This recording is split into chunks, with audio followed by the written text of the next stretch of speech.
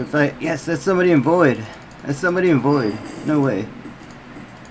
Let's go.